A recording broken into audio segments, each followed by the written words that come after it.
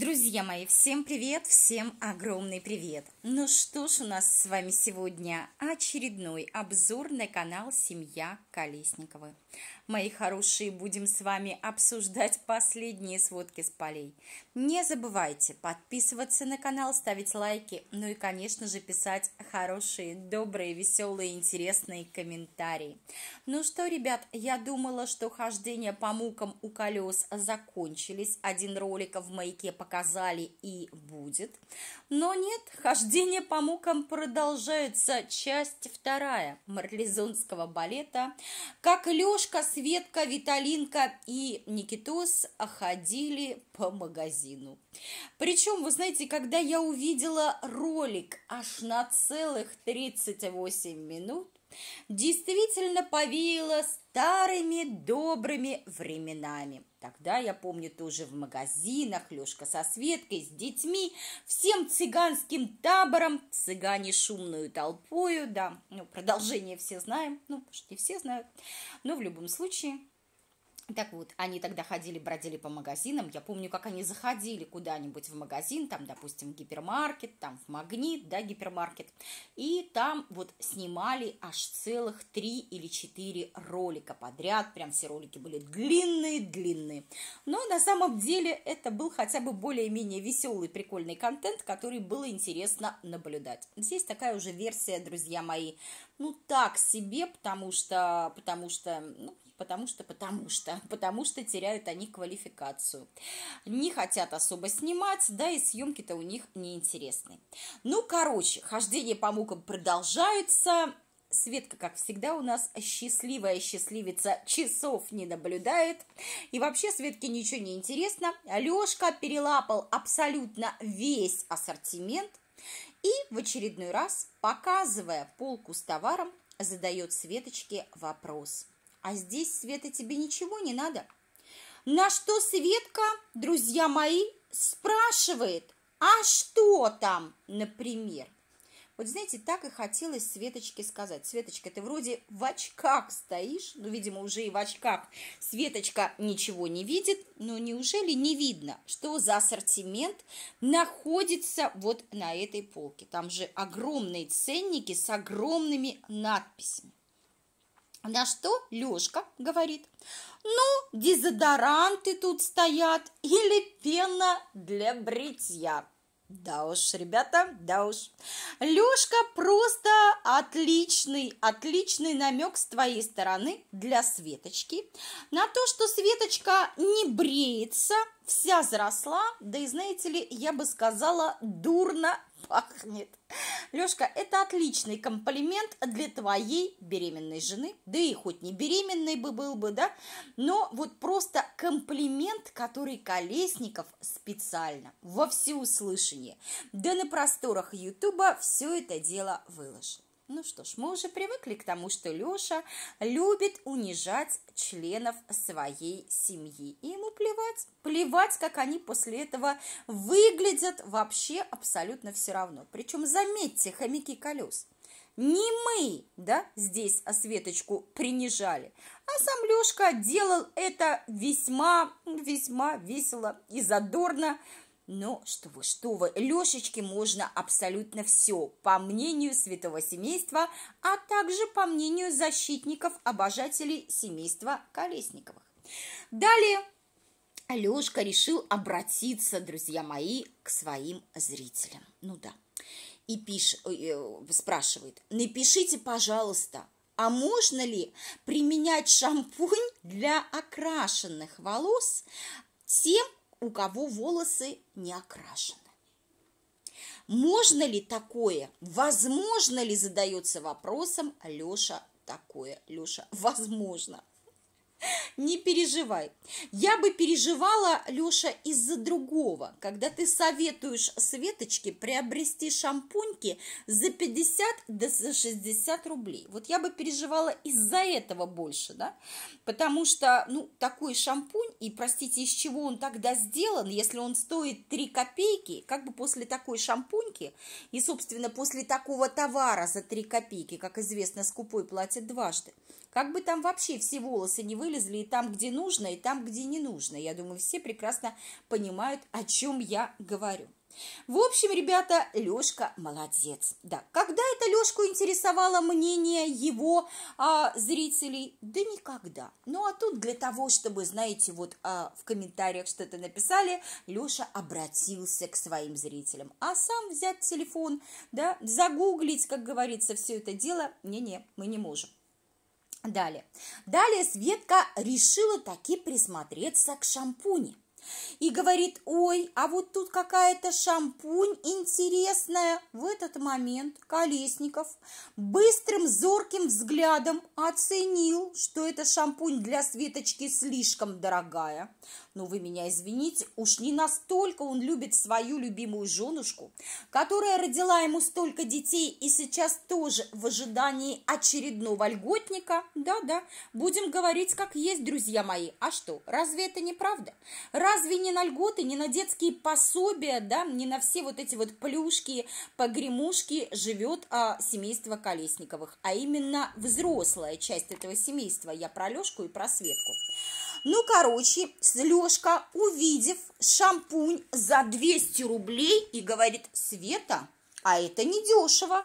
А вот рядом, говорит, есть шампунь за 65 рублей. Ребят, в этот момент я чуть в обморок не упала. Я просто, знаете, вообще вот с трудом себе представляю, аж насколько надо ненавидеть членов своей семьи, не переживать, да, что ты вот сейчас советуешь своей жене. Она в этот момент, между прочим, вынашивает твоего ребенка. То есть даже об этом не думает, что Светка может воспользоваться какой-то фигней, и потом это все выльется боком, в том числе это может а, повлиять, да, и на ее здоровье. А если влияет на ее здоровье в тот момент, когда она вынашивает ребенка, соответственно, это окажет влияние а, нехорошее на ребеночка, которого Света носит под сердцем.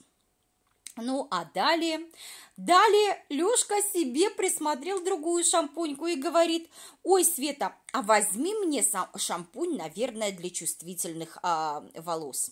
Для чувствительной кожи головы, говорит, да-да.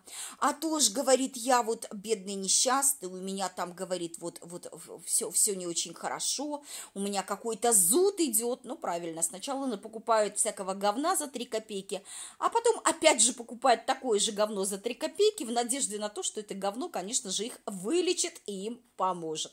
Леша, вообще ты молодец, да.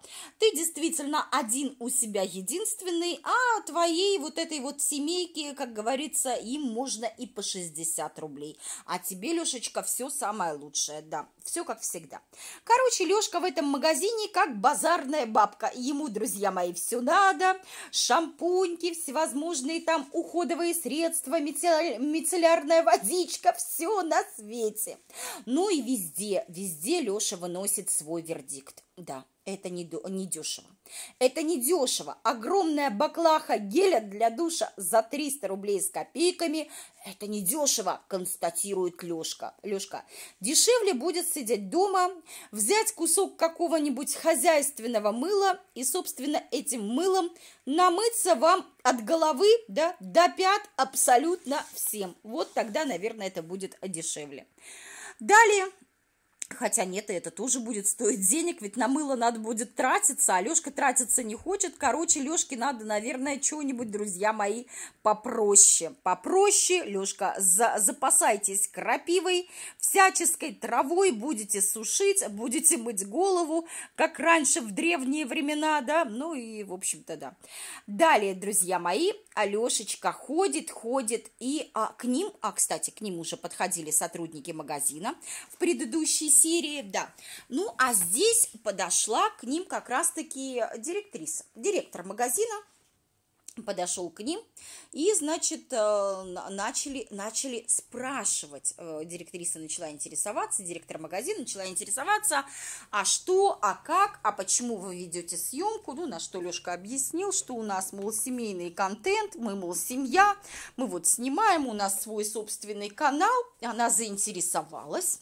Да, Леша все это преподнес, что они снимают и готовку, и там семейный канал, и все там и без матов, и все замечательно, и прямо, знаете, так радужно расписал свой контент, ребята, да.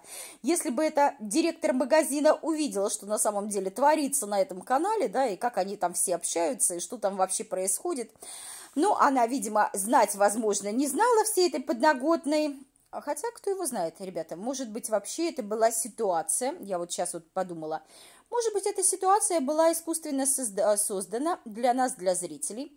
Возможно, это вообще была какая-нибудь знакомая по их там собраниям, да, всякое же может быть. Они же там где-то работают. И, может быть, это было все создано специально. И, короче, она прицепилась, как банный лист к заднице, к этому Колесникову. И говорит, ой, а вы нас не хотите прорекламировать?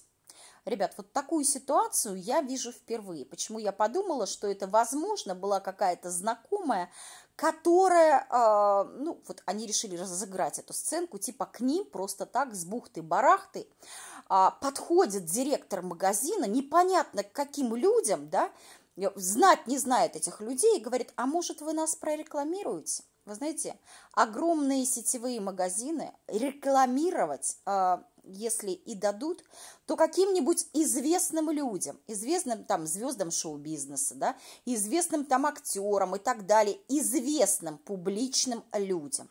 Ну, а когда обращаются к блогерам, да, то эти блогеры, конечно же, у них активные каналы, большие достаточно просмотры и как бы, ну, знают заранее, как ни крути – подноготную этих блогеров, их контент, дабы, дабы, ну, как бы не, про, не произошла какая-нибудь неприятная ситуация. А тут просто так подходит директор магазина, ну, она представилась директором, вы знаете, честно, я сказать, что я была в шоке, увидев этого директора, я таких директоров никогда в жизни не видела. Конечно, все бывает в первый раз, да, и тут она просто так, с бухты-барахты, обращаясь к абсолютно вообще незнакомым людям, то есть э, то, как они живут, можно было понять, э, да, вообще, что они из себя представляют. Вот даже глядя на то, как была одета Светка, вот это, знаете, вот как можно было так одеться, ребят, раньше она этот платок не носила, да, тут напялила платок, как эта бабка, вот эти очки, да, вот эта одежда, боже, как будто она, знаете, как будто вот эта одежда где-то у кого-то валялась лет так 50-60, а потом дали Светочке лишь бы бесплатно, Светочка на себя все это дело напялила. Вот представляете, вы просто видите вот такую семейную пару, да, и вы к ним просто так какой-то директор магазина подходит к этой паре и предлагает, а может вы нас прорекламируете? Никогда в это не поверю абсолютно не поверю.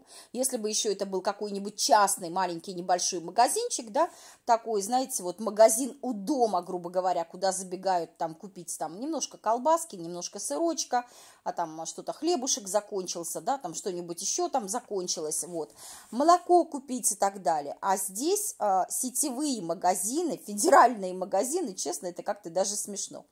Ну и Лешка говорит, можно договориться, типа можно договориться. Да, да, я так понимаю, директриса думала, что она сейчас бесплатно будет рекламировать их магазин, ну, а Лешка решил, конечно, с этого срубить куш. Ну, оно и понятно, естественно, реклама стоит денег. Ну, в общем, э, директор объяснила это тем, что я, говорит, вообще подхожу всегда к покупателям. Мне, говорит, очень интересно мнение посетителей магазина. Я впервые об этом слышу, что директора магазинов подбегают к покупателям и интересуются, что им интересно. Да, моменты что им интересно, это все в наше время, в 21 веке, это все можно узнать другим способом. Для этого вовсе не обязательно директору магазина бегать и приставать к посетителям магазина. Честно, бредятина. Ну и говорит, ой, а можно я вашим деткам дам подарочки. Ну что это за вопрос, да? Конечно же, не то, что можно, а даже нужно. И даже на постоянной основе, как любит семейство Колесниковых. Ну а далее Леша решил, я так понимаю, задружиться с директором магазина. А вось вторая тетя Света попадется, да? А почему бы, собственно, и нет? Ну, ребят, ну я когда посмотрела на эту э, женщину, на директора магазина, на самом деле, да, вот директора магазина. Вы знаете, э, честно, я никогда не видела, чтобы настолько фривольно были одеты директора. У нее, вы извините, вот этот вот сарафанчик, так... я не против, да, каждый одевается как может, как хочет, как ему нравится, как говорится, колхоз – дело добровольное, да, это личное дело каждого. В каждой избушке, как известно, свои погремушки. Но есть такое понятие, как дресс-код. Есть все-таки должности, да, и есть работа, где тебя должность обязывает соблюдать все-таки какой-никакой дресс-код, как ни крути. Вот этот сарафанчик, ну, опять же, если кому-то нравится, да, ради бога, как говорится, был бы, в принципе, э, достаточно к месту где-нибудь, знаете, на пляже, когда жаркая погода, да, ну, или где-нибудь выйти в магазин, просто там даже покупателем магазина, да, посетителем магазина, но никак не для директора магазина, простите, когда ее сиси лежали уже на животе практически, декольте было настолько глубокое, что там, знаете, просто мама, не горю, я вот думаю, взрослая женщина, а по ней было видно, что она взрослая женщина, да, то есть ей, наверное, уже за 50, как бы, я не против, да, ради бога, если э, есть что показывать, но как-то все-таки это смотрелось не к месту. Директор магазина так не может выглядеть, ребят, вы меня извините.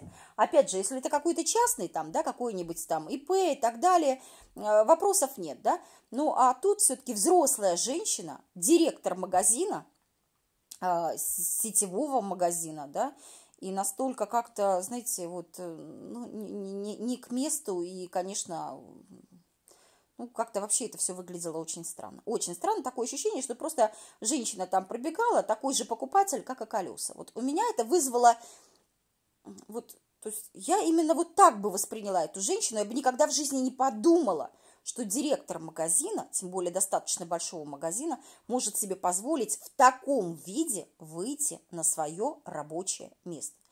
Это, ребята, нигде такого вообще я не видела. Чудо, да, хотя с этим делом очень часто сталкивалась и прекрасно понимаю всю эту кухню, знаю ее наизусть. Ну, такого чуда я никогда не видела. Ну да ладно. Все когда-то, как известно, бывает в первый раз, да. Ну и далее, далее, друзья мои, Алешка. Алешка ползал там, ползал и смотрел все, разглядывал, все ему было интересно, все как всегда. Леша был, кстати, доволен, когда начал общаться с этим директором магазина, с этой женщиной. Ну, а Светка фыркнула, ей, знаете, это не понравилось. А вдруг опять очередная какая-то женщина позарится на столь ценный подарок, на такого Лешку Золоторукова. Да не дай бог, Светочка, молодец, правильно, бди в оба, как говорится, а то от твоего Лешки всего можно ожидать. Светочка фыркнула, состроила недовольную морду лица. Ну, в принципе, да. А, увидев живот Светы, директор магазина, друзья мои, говорит, ой, так вы, говорит, третьего ждете? Да уж, ребят, ну и тактичностью этот директор магазина тоже не отличается. В итоге им там дали какие-то там презентики, выдали упаковку памперсов. Лешка доволен и говорит, вот, а нам в магазине еще и памперсы дарят. А я хочу сказать, не тем людям подарки делаете, не тем людям помогаете, потому что содержать тунеядцев – это плодить целую армию паразитов да, которые государству потом все равно ничего и людям не дают. Вместо того, чтобы сказать «идите работать», некоторые в кавычках сердобольные люди оказывают медвежью услугу и начинают помогать тем, кто работать может, но не хочет.